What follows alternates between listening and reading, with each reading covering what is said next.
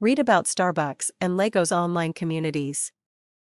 Online communities are a great way to understand what businesses are doing right and wrong. More and more companies of all sizes and in all sectors are reaching out to their customers in this new and exciting way. Companies can use their own online communities to engage with their customers and make them feel part of their business and any future plans. Below are a couple of examples where online communities have successfully been used to enhance the company brand and build strong relationships with customers. Point 1 example to consider is a well known chain of coffee shops. Starbucks set up an online community, My Starbucks Idea, mystarbucksidea.force.com, as a platform to allow their customers to share ideas and thoughts.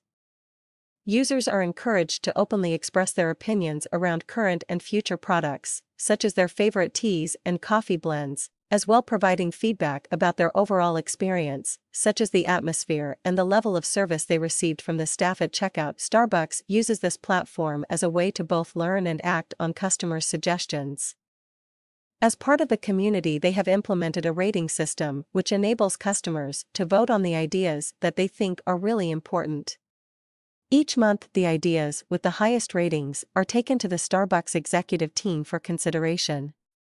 With more than 3 million visitors and over 60,000 ideas generated from customers, the community site has been a great success for Starbucks and its brand. Another brand that has progressed within the online community world is Lego. Whilst other toy manufacturers have stepped aside and made way for the e-games industry, LEGO has held its own and still remains a firm favorite in homes around the world. LEGO Club, club.lego.com, to its users is a platform in which people can swap ideas and show off their designs, However, to LEGO itself, the platform is a strategic marketing tool that allows the company to understand its customer base and segment them in order to implement a successful social media strategy. LEGO has split their online customers into three types lead users, people LEGO actively engages with on product designs, 1 colon 1 community users, people whose names and addresses are known to LEGO, and connected community users, people who have bought Lego and have also been to either a Lego shop or park. These customers are defined based on the strength and depth of their relationship with the Lego brand.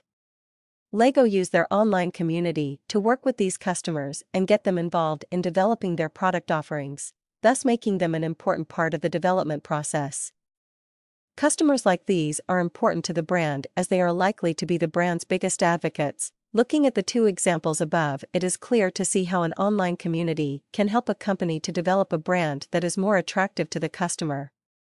Understanding how each customer's needs differ is extremely valuable.